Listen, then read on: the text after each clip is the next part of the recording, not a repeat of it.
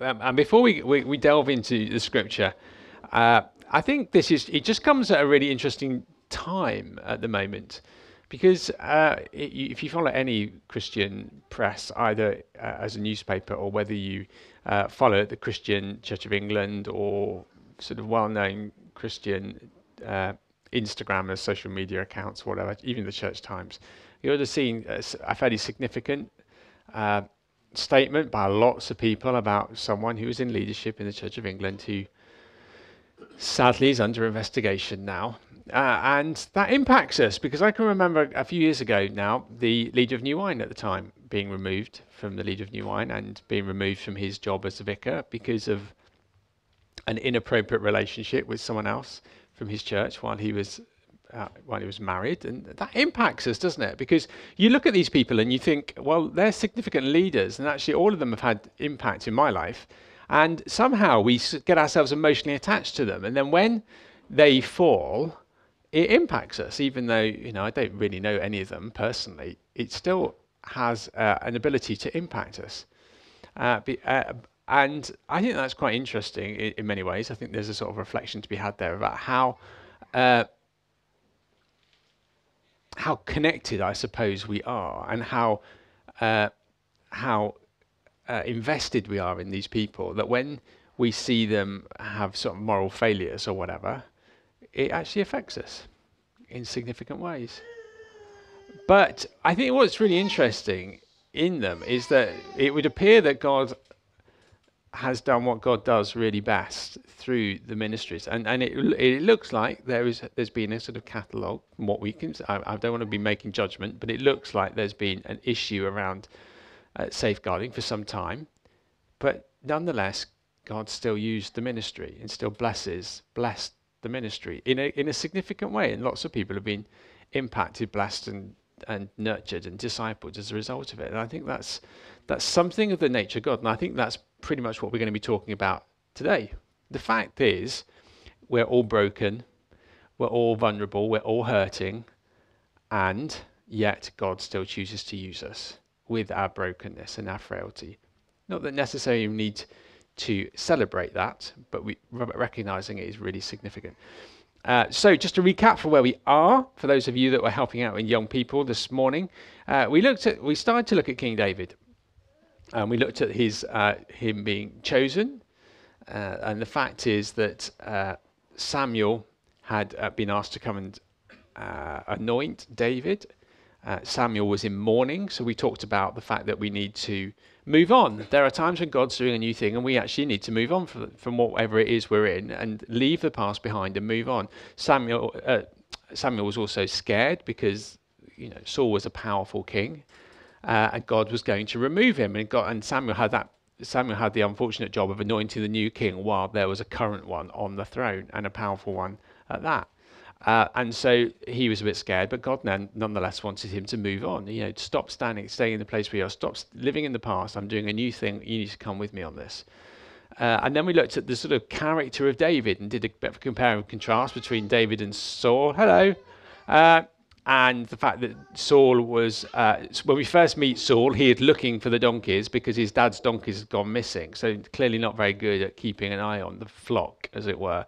Whereas David was the amazing shepherd, and and but also this man who who worshipped God in that place of uh, insignificance, who worshipped God in the place of being unseen, and all of these characteristics. Someone who's prepared to fight for what he's been given uh, the shepherd role, the person who was prepared to do the task of looking after the sheep, uh, because that's what he's been given to do, and not come and seek the greatness of trying to find the prophet that was come to, to town.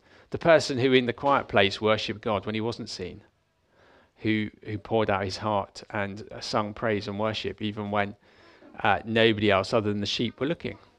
And that was the sort of character that God saw and said, That's the person I want to become a king and, and how actually perhaps that's there's some lessons for us to reflect on there, and and actually our fronts our our, the, our presented persona has to match the uh, the the quiet back room of our life. What goes on behind actually empowers what should come up front, and perhaps at times they're not aligned. Uh, so we're going to move on. There's actually quite a lot of scripture to cover on this, so I'm going to read bits rather than all of it, because otherwise we'd be into the barbecue, you'll be getting hungry, and we'll still be reading the story of David and Bathsheba, and uh, and then uh, Nathan's uh, rebuke of David. So if you've got your Bibles, you want to flick to 2 Samuel. We're going to start at chapter 11. In the spring, at the time when kings go off to war, David sent Joab out with the king's men and the whole Israelite army. They destroyed the Ammonites and besieged Rabbah, but David remained in Jerusalem. One evening, David got up from his bed and walked around the t- on the roof of the palace. From the roof, he saw a woman washing. The woman was very beautiful, and David sent someone to find out about her. The man said, She is Bathsheba, the daughter of Eliam, and the wife of Uriah the Hittite. Then David sent some messengers to get her. She came to him, and he slept with her. Now she was purifying herself from her monthly uncleanness. Then she, then she went back home. The woman conceived and sent word to David, saying, I am pregnant. Now, we, we know the rest of that story. It doesn't go well. David uh, panics and then plots a way to try and cover up his mistakes and ended up killing, having Uriah killed. And we're going to jump ahead to uh, uh, chapter 12. The Lord sent Nathan, another prophet, to David. When he came to him, he said, there were two men in a certain town, one richer and the other poor. The rich man had a very large number of sheep and cattle, but the poor man had nothing except for one little ewe lamb that he brought.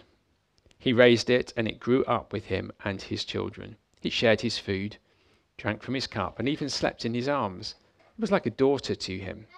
Now a traveller came to the rich man, but the rich man refrained from taking one of his own sheep or cattle to prepare a meal for the traveller who had come to him. Instead, he took the ewe lamb that belonged to the poor man and prepared it for the one who had come to him. David burned with anger against the man and said to Nathan, As surely as the Lord lives, the man who did this must die. He must pay for that lamb four times over because he did such a thing and had no pity. Then Nathan said to David, You are the man. This is what the Lord, the God of Israel, says I anointed you king over Israel, and I delivered you from the hand of Saul. I gave you ma- your master's house to you and your master's wives into your arms. I gave all I gave you all Israel and Judah. And if this had been too little, I would have given you even more. Why did you despise the word of the Lord by doing what is evil in his eyes? You struck down Uriah the Hittite with the sword and took his wife to be your own. You killed him with the sword of the Ammonites. Now, therefore, the sword shall never depart from your house because you despised me and took the wife of Uriah the Hittite to be your own. Hello.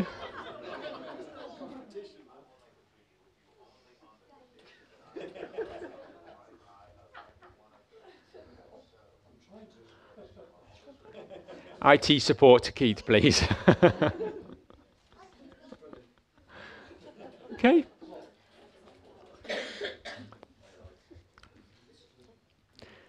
Um, what we end up going on to see is that there's a consequence for this, and actually the this, this the child that's uh, that's uh, that is the result of David and Bathsheba's uh, indiscretion uh, is uh, is uh, is is dies and as a consequence for their actions. Anyway, so I want to look at this passage because I think it's quite interesting. We can, I think there's some things for us to learn from this, uh, because I think there is a general sense of of uneasiness of being let down when leaders fall in public sin. We've and we've seen it, as I said, in the life of the church quite recently. But it's interesting, isn't it, that it's a story nearly as old as creation itself. Nearly. Three chapters, perhaps, as old as creation itself. So, what can we learn from this? What what is there? I think there's there's sort of two ways I'm going to uh, sort of look at it. One is how do we try and stop this from happening? What do we learn from David in the first place that made us think? Well, actually, he made some errors that got him in this mess in the first place. And then when we find ourselves in messes, what do we do? Now, it strikes me that as we, we start chapter 11, that David was already well on his way to the inevitability of this. Uh, you may dispute that, but it seems to me that the adultery uh, was already s- sort of on track because he started to let his heart and his eyes wander. He, he actually started, then if you noted, he started to take his eyes off his purpose and his calling. We looked at earlier, what had God called him to? God had called him to lead his people. He was a man who was supposed to be a shepherd, to shepherd his people, but also he was brave. He was supposed to look after his people. He was the one that fought lions and bears when the sheep were attacked. So he was supposed to be this courageous, brave shepherd to look after his people. Uh, what's, what's, it's a funny little line that you get here in the beginning of this chapter that says, uh, at, in the spring, the time when kings go off to war.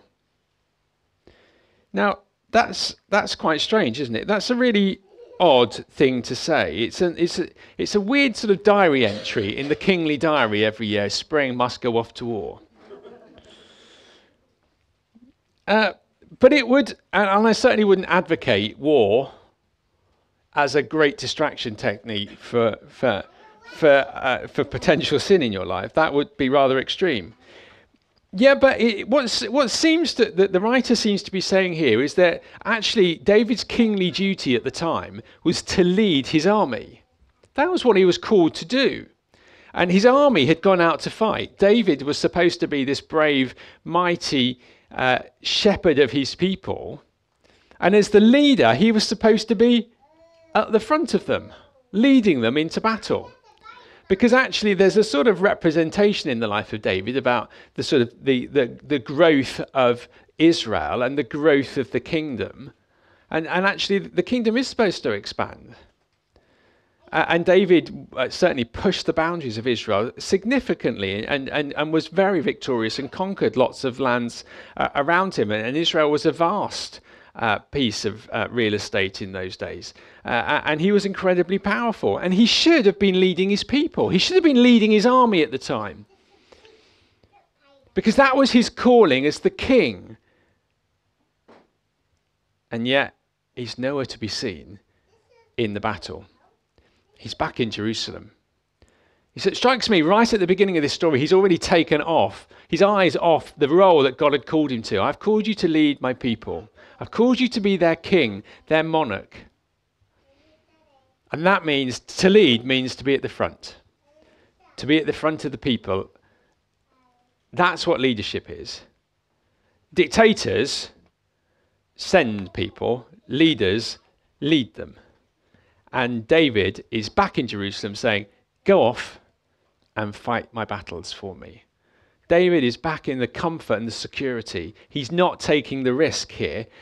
His soldiers are the ones that are taking the risk. And he's just sent them off. It strikes me that, that his first failing is here. He's, he's lost his sense of identity. He's lost his very purpose, what he's supposed to be doing as the king. That's leading his people. That's why he was uh, he was uh, called. And he's lost sight of this. And when we lose sight of the calling that God's given us, we open ourselves up actually to temptation. And if you've ever thought about that, if God's called you to something, when we take our eyes off of that, our, our eyes very easily wander. And if David had just been focused on this thing, you've called, I've called, you you know, I've called you, David, to lead my people, to be the king, to go out and fight. He would have been very focused on winning a battle. As it is, he'd lost sight of his calling and his eyes started to wander. And that's, the, that's so often the case, I think. When we, when we lose sight of the very thing that we're called and entrusted to do, our eyes can wander. And, and David's eyes were wandering. I, don't sus- I, I can't sort of see that in this story, this was the first time David had gone up for a little walk on the, doesn't say, I, am speculating, at night on the roof. He was supposed to be fighting a battle. He's walking on the roof, and there he sees this beautiful lady on the other side. And even then, he has a choice, doesn't he? You know, if you see something, your eyes inadvertently see something which you shouldn't do, you have a choice at that point, don't you? You have the choice do I avert my eyes and go, actually, I shouldn't be looking at that? Or do I look a little bit longer and let my eyes linger in that place for a little bit too long, an appropriately le- uh, sort of length of time? And David was falling into that category. And then when he was in that category, he started to look, and instead of averting his eyes and go, Oh, crikey, what am I doing? I shouldn't be looking at that. He started to look, and when he started to look, he started to lust. And then he, asked, Who is that? Who is that? And they came back, well, that's Bathsheba. She is the wife of Uriah. And, and even then, he has a choice. He has a choice of, oh, she's married. I can't, that's not for me. She is already uh, married and in a relationship. She is now out of bounds. He makes the choice, I'll, I'll have her round for tea. That's a good plan. You know, he's, he's starting to, I'm sure it's a, it's a sort of slow trickle, isn't it? He's probably convincing himself all the way along. Oh, well, Uriah's out fighting the battles. I'll have her over because that's the friendly thing to do. But I'm, I'm sure his head's already in the place of, well, if I have her over for tea, uh, for whatever, then, you know, things might lead on to something else. And that's exactly what happens. Things do lead on to something else. And as a result, she falls pregnant. So, the first lesson, don't get distracted from what God's giving you to do. The second thing, when you start to see your eyes wandering, avert your eyes. When you start to feel yourselves going into that place of temptation, stop it. Don't let your eyes linger. Don't pursue that path because actually, uh, the, the, Spirit of God in, inside us is a voice of God's conscience, is a voice of God, like our conscience, calling to us and saying, you should stop this. And you, that's the choice we have, isn't it? That's, what, that's the choice we have in our lives as Christians, as followers of Jesus. Do we, do we listen to that voice or do we, do we listen to the voice of the temptation? And it's hard because if temptation wasn't tempting, it wouldn't be called temptation. It would be called something else, like horrible or something. But the fact is, it is tempting because that's why it's called temptation. It's, it is something that's appealing to you, otherwise, you wouldn't have a problem refusing it. And David just kept pursuing this path. You know, he could have not looked. He could have then not asked, Who is she? And then, even when finding out, he then could have said, He could have not asked her over, Go and get her, bring her to me. All of these points, he had the opportunity to stop, and he doesn't. And then what happens is he then gets trapped because sin is sticky, it sticks a lot. It traps you. That's why Jesus, you know, talks about I've come to set you free. Not because we're all in physical prisons, but because we're all physically trapped within something. We're all caged, we're all chained, we're all bound that image again in the, in the Christmas Carol. The, the, you know, they can't see, Mar- Scrooge can't see, but Marley says, You can't see Scrooge, but actually the chains you carry are even greater than these. And Scrooge is already trapped in his sin.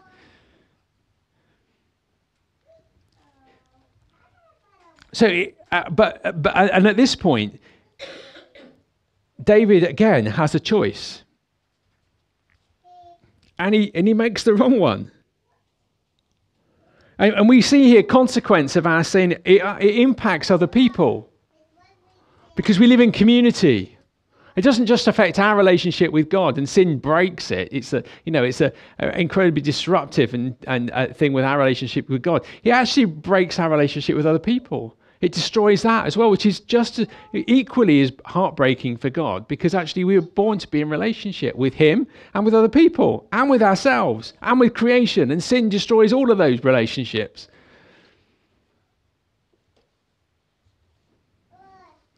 David has a choice here. Well, I can either start to put things in place, but he makes the, another mistake. What does he try to do at this point? You know, there's a baby on its way now. He's whether he likes it or not, there is a life has been made. What is the choice? I can repent at this time, come clean, or I can cover it up. And he makes the mistake of saying, I'm going to try and cover this up. The problem with there's there's only one there's there's sort of one path he takes in this one. And what we see is one life's been created and one life's taken. To cover up, he takes the life of Uriah, doesn't he? You know, he, he tries, through deception first to get Uriah and his and Bathsheba back together again and says, well, let's if we do this, we can cover it up. And then, nobody will know it's me. And that doesn't work because actually Uriah is a faithful man. Uriah is a man who understands what he's been called to do. Uriah is, I know, he said, at the moment, I'm called to be in your army. I'm not going to go back to my wife because none of the other soldiers are. And I'm going to stay with the thing that I'm called to. And that's just rubbing salt into David's wound because David knows, actually, that's where, exactly where he should be at the moment. He should be out with his soldiers. But instead, he's trying to cover up his mistakes. And so eventually he ends up when he says, Well, we'll have to have him bumped off. Because if he's bumped off, I can marry her and then we can cover it up again.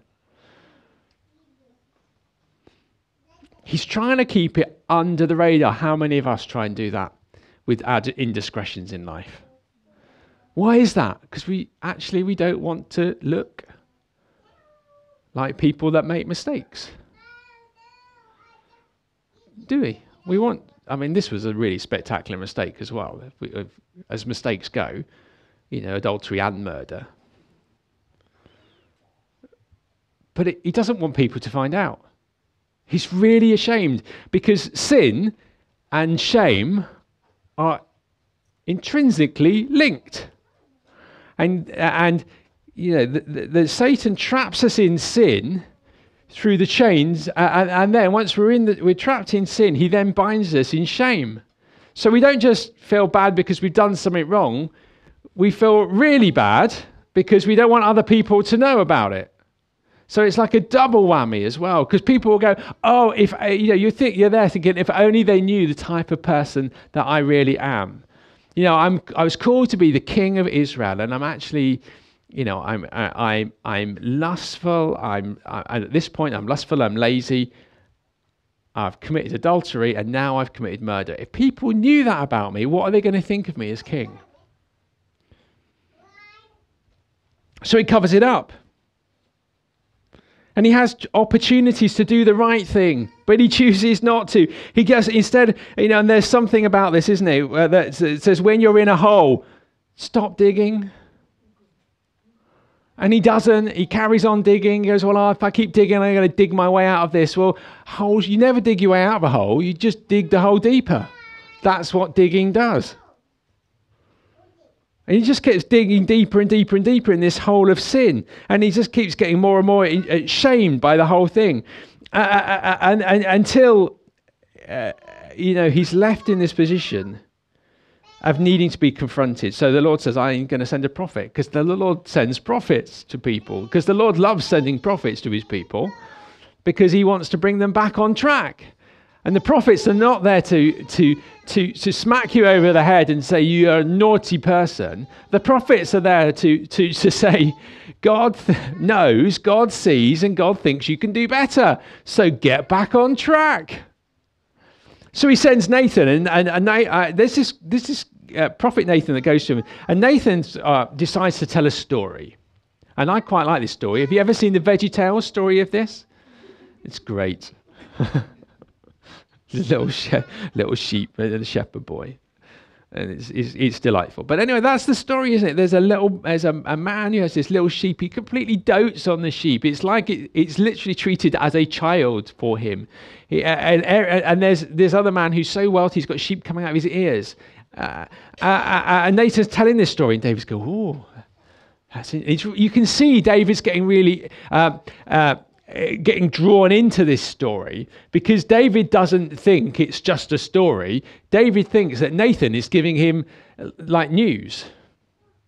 David thinks that Nathan's actually saying, This has happened. You're the king. What are you going to do about it? You know, like some news report. And David says, That is awful. He needs to be dealt with. And then Nathan comes in with the killer line. Yes, you're right. He needs to be dealt with, King David. And guess what? It's you. And God has seen you, David. God has seen you. And so that you know He's seen you, He sent me to tell you. He's seen you. And there are consequences for this, David. Your son, as a result of this, will die. That was sufficient to kick David into action. David then thinks, oh my word, I've been caught. And, and again, you have two choices when you've been caught out. You can go, it's a fair cop, or you can go, it wasn't me. David chose the right path at this and go, it's a fair cop. He could have gone into denial I don't know what you're talking about, Nathan. You, you, you I think we should stone you because there is something in the Bible about false prophets being stoned, and that's just not true. Let's stone and get remove Nathan from the story as well. He doesn't. He goes, it's a fair cop.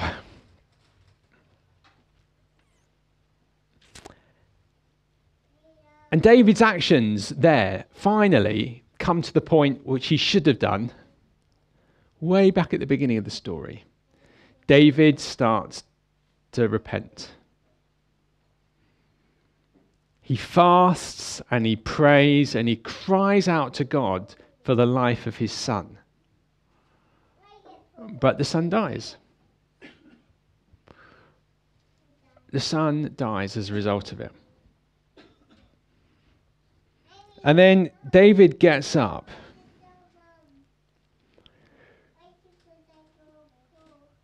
And recognizes, I mean, he doesn't say this, but he, he's, he's, there's a sort of implication in, the in, in this uh, exchange, this, this communication, similar to the, the Job thing where the Lord gives and he takes away. And actually, the Lord has taken away here. I thought he was going to be, I, I, I pleaded to him to be gracious but he's removed him. And why? I mean, that's, that's the, there's tension in here, isn't there? There's a theological tension that exists in that statement. If, if you don't see it, then I'd like you to explain why you're not questioning the character of God in this. Because God has just removed the life of the baby, the boy, even though David is now repenting. There is tension to be had in that. And that comes as, you know, that does bring us back to the book of Job. Well, actually, the Lord gives and he takes away. And the book of Job ultimately says, and we don't know why. But we do know that God, that's God's decision, and God is good, and we, ha- and we don't know why he does these things. And that's the tension that exists in this story. And we have to we have to wrestle with that as Christians. Well, actually, we don't understand why things why bad things happen to what appear to be innocent people. This boy is not a problem. Is not it is not his fault that he's been born as a result of adultery. It's David's fault, and probably a little bit of Bathsheba's. But you know, women unfortunately in those days were regarded a bit more as property. So we'll it's certainly David's fault. He was the one in power, the position of power in this relationship, wasn't he?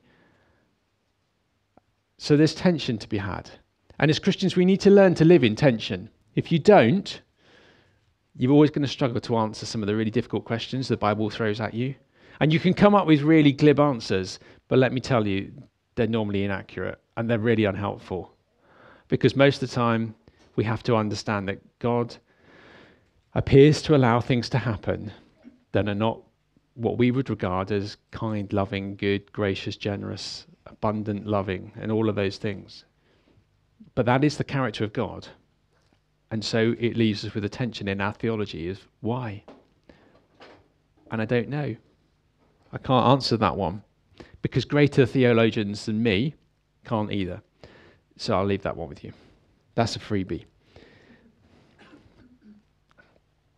But what we do see here is that that so God, you know, God gives and He takes away. He's taken away this this boy, but He does give as well. Uriah is now out of the way. David sort of legally enters into a relationship with Bathsheba, and Solomon as a result. God gives David Solomon, who will then take over uh, the throne from David. But there's been a scar left on David as a result of this.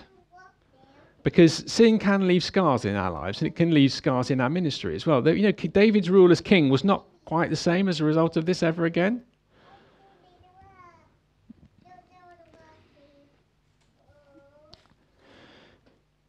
And again, why that happens, I don't know. But you go and ask any uh, anyone from any Jew and say, Tell me, tell me, who's your greatest king?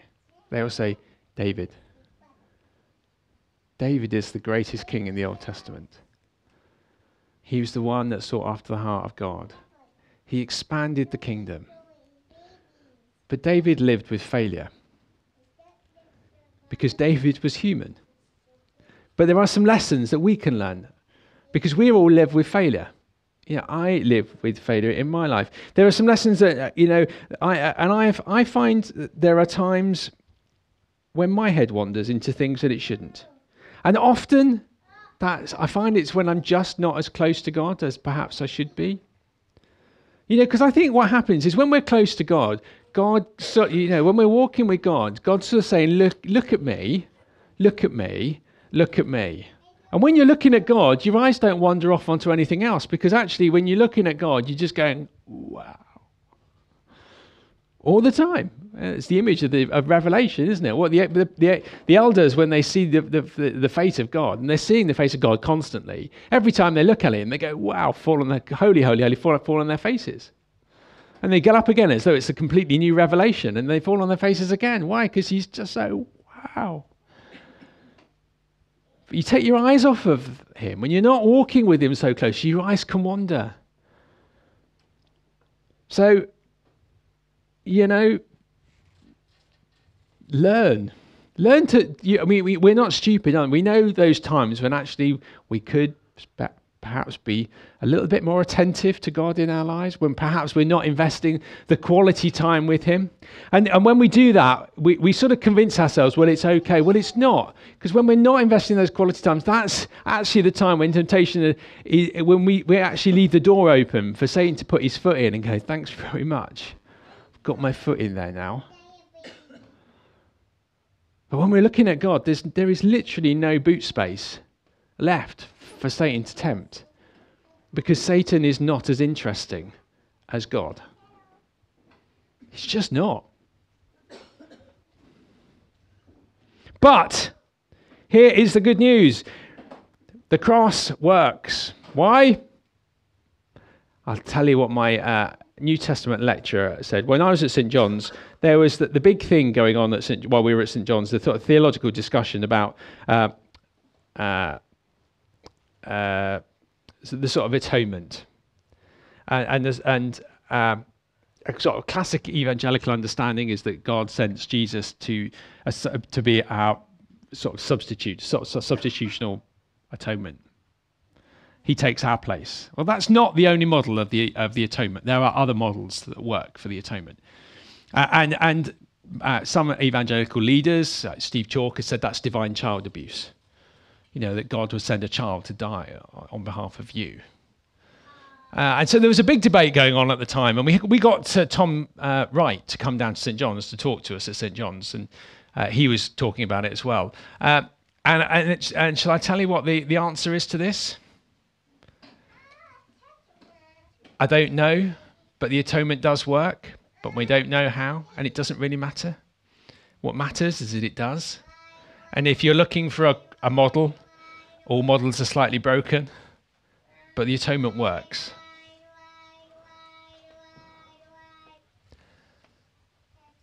The atonement works. Sin can be dealt with. Sin was ultimately dealt with on the cross. And sin does not preclude you from the things of God. Choosing to stay in sin will do. But God does work for good in all situations. That, I think, is something that we can take away from the story of David and Bathsheba. He was a great leader, but he was broken and he was flawed and he continued to make bad choices, which just made the sin grow.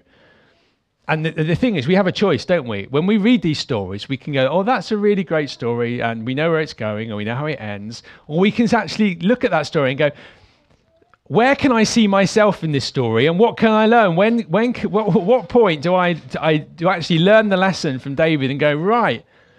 I'm not going walking on the roofs any longer on, a, on, a, on an evening, metaphorically, because that's a really dangerous place for me. Because I know when I walk on the roofs on, the, on a Saturday evening, uh, my eyes wander onto things that they shouldn't be. That's, that's what we learn from these stories, isn't it? Or actually, my calling is to be doing this. So don't be lazy. Don't stay back in Jerusalem, putting your feet up and send someone else to do it. If you're called to lead the people, lead the people. Go and fight your wars with the soldiers.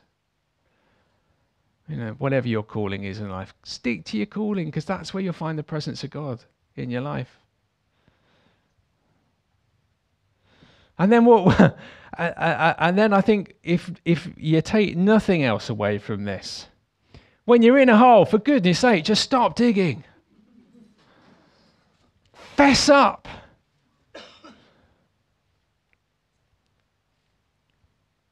Confess.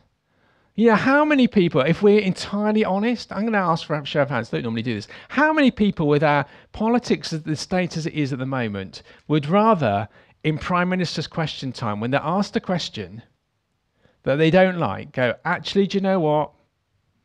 I'm going to put my hands up. I don't know. Or, actually, you're right. We haven't done well on that. How many people would much rather have that level of integrity and honesty with our politicians than the, the nonsense that we get in Parliament? Than the dodge the question and say something stupid back answer? No, we'd much rather people go, actually, I got it wrong. Because we'd go, wow, a man or a woman of integrity. Because when you acknowledge you got it wrong, you can work for that, can't you? So when you're in a hole, stop digging. Put your hands up. Confess. And I think the point that I, would not made, but I will make it. Do you know what? We need people like Nathan in our lives. People who have that level of relationship and authority to speak into our lives, to say, do you know what, David? Even if they tell silly stories about sheep, David, God sees and he's not happy. We need people that sort of level of accountability in our lives that are just going to hold us, ask the difficult questions.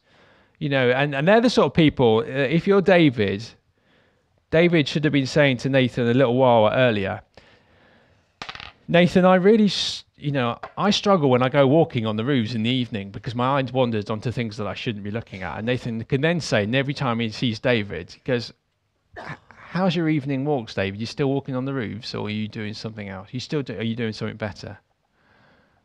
You know, that's the sort of accountability we need, isn't it, in our lives? But David doesn't do that. Why? David's proud. Ultimately, he's king, isn't he? He's a proud. He's a proud leader, and he's not prepared to ask for that level of accountability. And his pride, unfortunately, leads to his fall.